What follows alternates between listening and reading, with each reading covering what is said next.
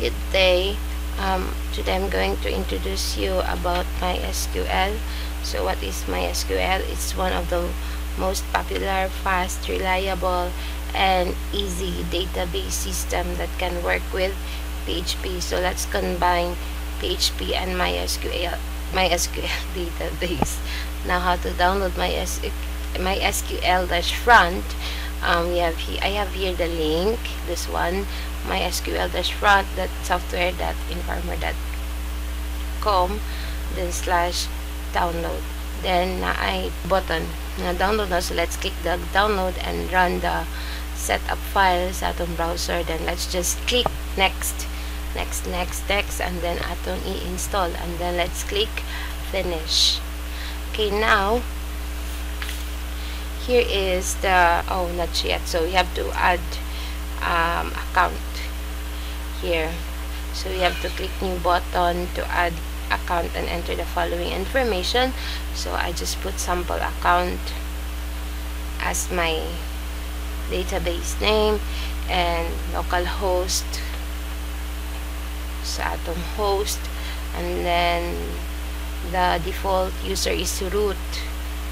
Then for the password let's leave it empty and click OK.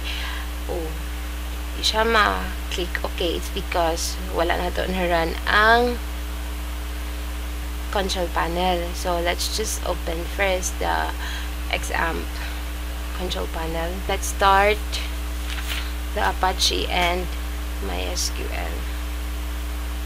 So let's create a, a dynamic web application. So in this chapter you will know how to connect and manipulate MySQL database using PHP so we're done. I'm gonna click OK. And here so the name is sample account. And then let's click open. And then so let's select the newly added account. So let's create a new database Let's select localhost located at the left panel and on the menu, let's click database new and then database. Then on the add database window, let's enter the information. So the name that I'm going to put is project underscore db. That one and then click OK button. I'm just checking kung sa mga chika. So this will create a new database that can be seen at the left panel. So here, you have the project DB. Now we're going to add table. So to add to create table, so let's select project DB and on the menu bar, click database, new and then table. So on the add table window, enter the following information. So for me, so I'm gonna put um, customer underscore TBL for the name. Okay, and type is my ISAM. Kaya pili on and let's just click OK button. Okay, then the customer table can be seen under the project database uh, folder. So this one, by default after creating a table, MySQL front automatically create a primary key, that one named ID, and this field will have the following properties. So we have the type, the length, the default. Yan default is auto-increment siya. Okay, now, so we're gonna update the ID field. So how to update the ID field name. So let's just right click and then go to the properties and then let's change the ID name or the name uh, text box. Here so ako siya usmo nag CID which means customer's ID and then yung length is only 11 and then auto increment. So automatic siyang mo increment So, if maatag ka ang data, automatic siyang mahatag ang number like 1, 2, 3, 4, 5, something like And then, let's click OK. And after that, let's add another table. so how to add? Let's right click to the tables to the customers table. And then click new. And then click the field. So new field so na naman tayo ID I'm gonna put uh, CF wrong wrong wrong. Kaya na double click na ako para mag-change. So CF name which means customer's first name then the length ah no the type is varchar so varchar siya. And then the length is 20 then let's click OK. So let's just do the same process with the other field. So um, we have to put CL name which means the customer's last name. So we shortcut na akong CL name then the length is 20 then click OK and so on. So asa yes. Let's add another one. Uh, we have the gender 20 can pwede po siya 10 actually.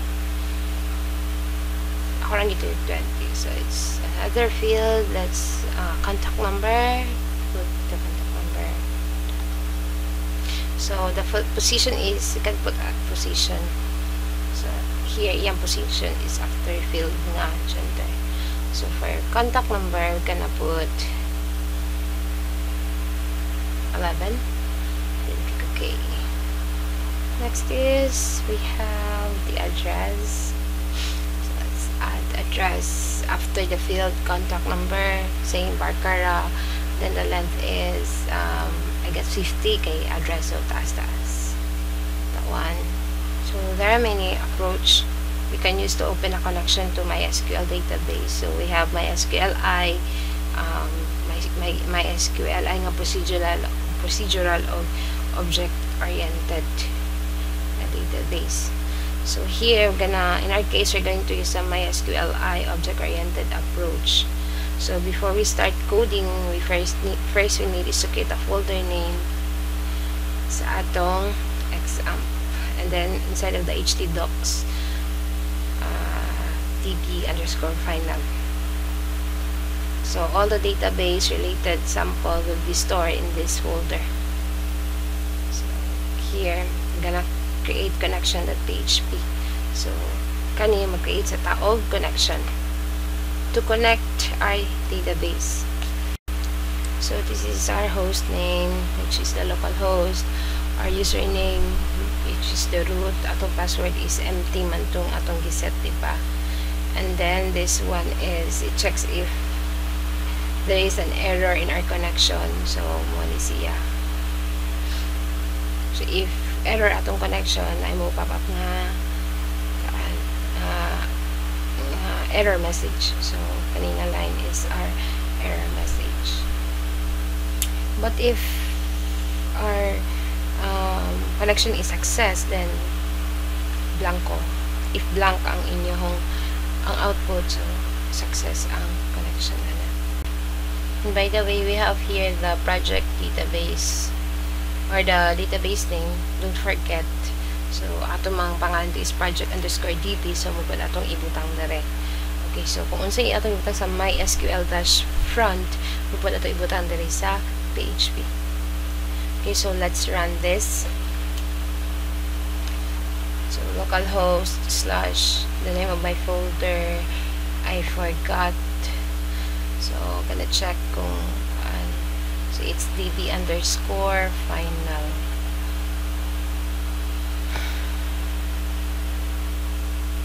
Then connection at php so there's an error on line 8 so let's double check. Kulang dollar sign. Ako may SQLi and naman Maming nagdiw man ni diw diw. So it's die. Sorry for that. It's die.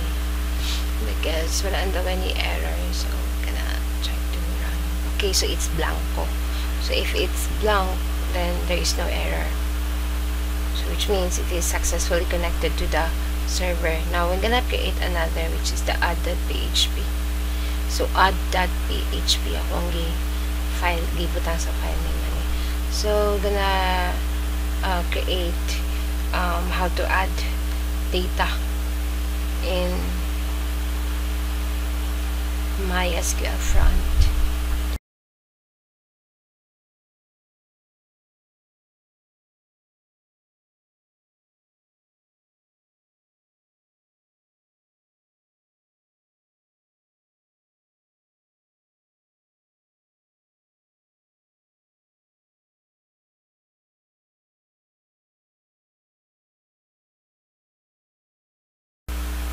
By the way, at this portion, there's an MI, which means uh, middle initial.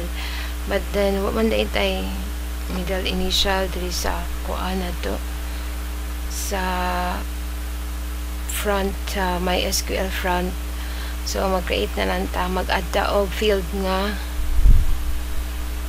CMI, which means the customer's middle initial. So, gonna add another one. So right click then new then field then gonna add CMI then varchar Japon and then mm, Tandra though kabulutang one letter na. But still ako nang 10 and then here so input type is text and the name should be CMI So, since kung sa pangalan sa akong uh, data dito sa sa front, sa MySQL front, mapod akong same pangalan po dali sa akong PHP.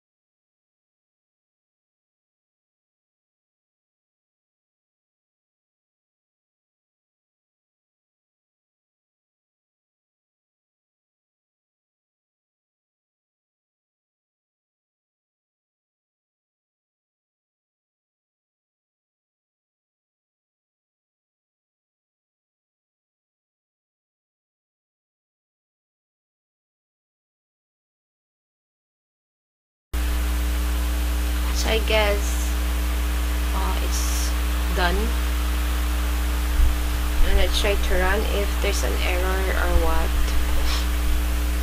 So, we're gonna double check it.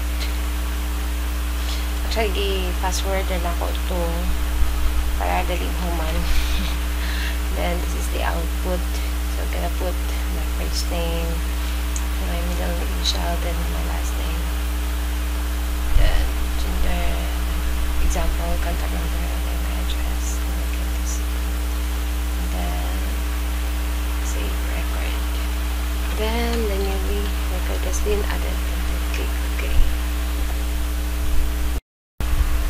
Then, I'm gonna add another data. So, example, Angelo, contact number, and address. Click save record.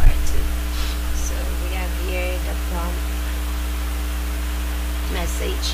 So, sa pinaka-last portion sa itong code na ako, JavaScript na nabutang sumo to siya effects if ever successful ang pag-add sa ating data. So, let's just check if na-add pa siya. And there it is. There it is. So, we have here um, the data na atong ipang add. So, let's just click the data browser. Here. Parang ako ni-click. It's because Lara, na-curious ako since actually uh, first time ko ano yung kanina environment sa MySQL front. Okay, so please follow it. I know it's easy. Quite easy. So that's for connecting and adding a data. Okay, so next video, gonna uh, search record method. Thank you so much. Bye.